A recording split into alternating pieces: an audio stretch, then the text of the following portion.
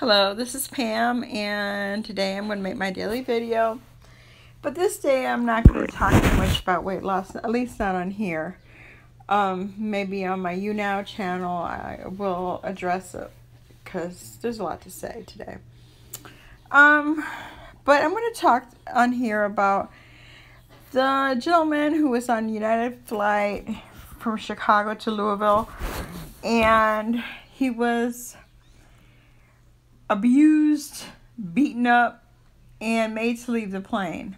He was an Asian man, uh, an older man. He was a doctor, and they wanted the they wanted to bump him so the a flight attendant could get a seat.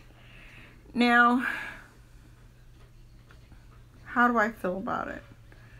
Totally wrong. Totally wrong.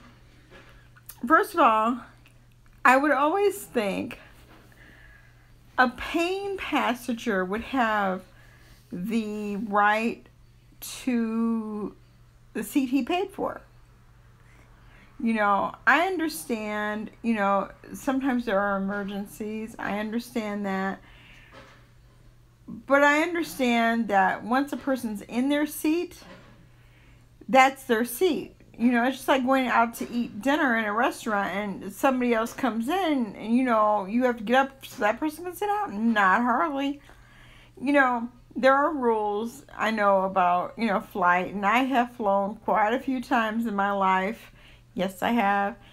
And I know, like, if you're a person of size, you might have to have to get off the plane because if you encroach onto the other side of the person's seat, yeah, who wants that? What person wants to sit next to some fat ass who's taking their half their seat?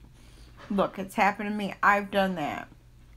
I was that fat ass and I was sitting next to somebody and and I couldn't put the uh, armrest down and they were so nice. They didn't make a big deal about it. They could have I wouldn't have blamed them if they did. I was humiliated. And I said I would never, ever, ever, ever fly again until I lost weight.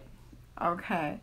Um, I, I know if you're, you know, drunk or you're really, you know, intoxicated and you're on you're on a plane, you can be told to get off the plane. And you know, I mean, I there used to be a program on TV called Airline and it was with Southwest Airlines, and it happened more than ah! that. You know, they make a person get off or deny them boarding. And, you know, I thought, well, sometimes it's a little crazy, but I guess I can understand. You don't want some problem ah! because you don't know how everybody acts when they're ah! drunk. Not everybody acts the same as the next person.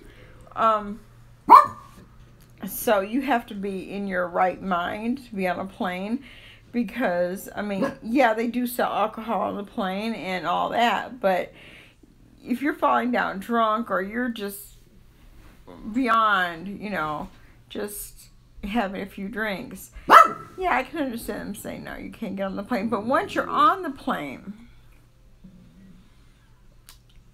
and like I said, unless you're encroaching on somebody's seat, you're drunk you're loud, you're causing a, a ruckus. Um,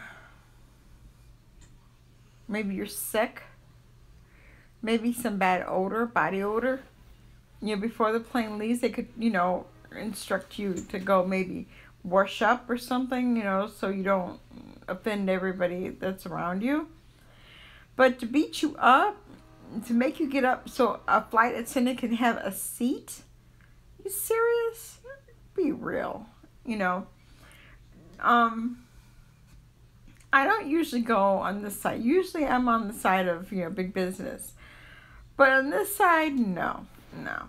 I think, you know, this man, whatever his issues are, you know, in life, you know, I heard he was a doctor and he had his license taken away. Okay, that's all well and good. That's all well and good. But he still is a human being. He still paid the price for the ticket. He was in his seat.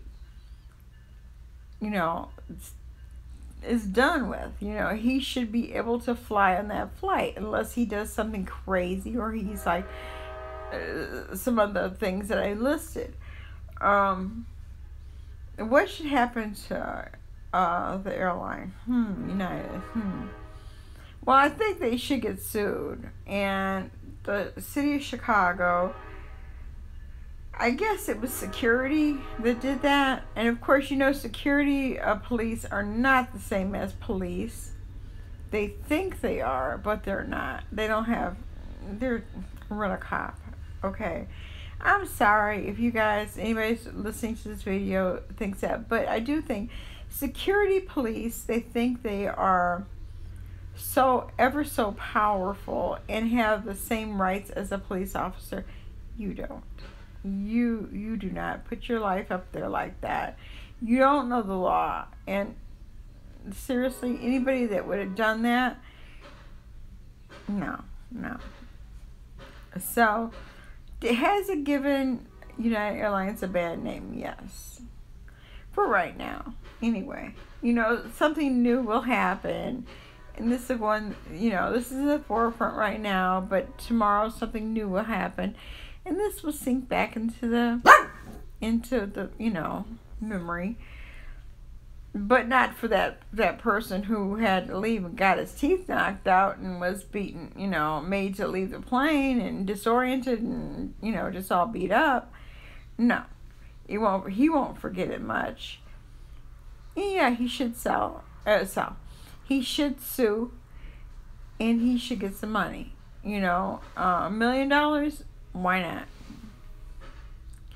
Um, if he would have done something you know, if he would have done something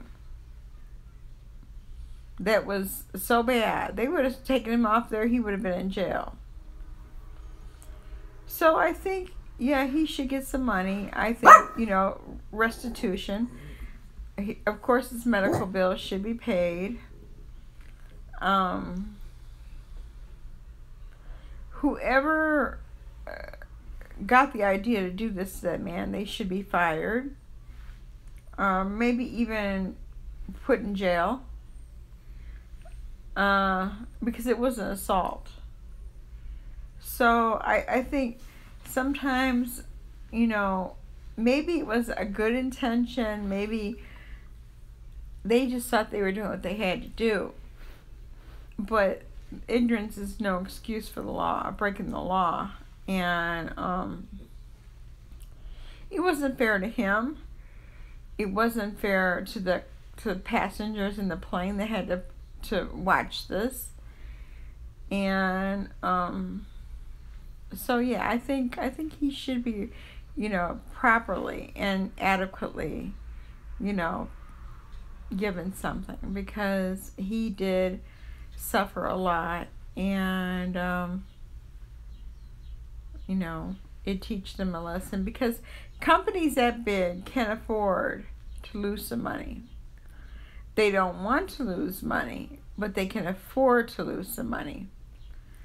So I think it's time now that the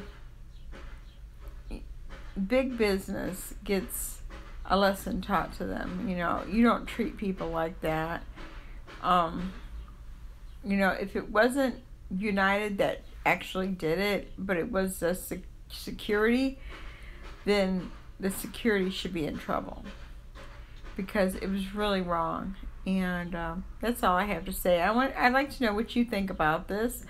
Um, please, you know, like and subscribe and leave a comment. You know, I leave my uh, email address in my um, the message part. So, you know, like and subscribe and you have a wonderful day and talk to you tomorrow. Bye.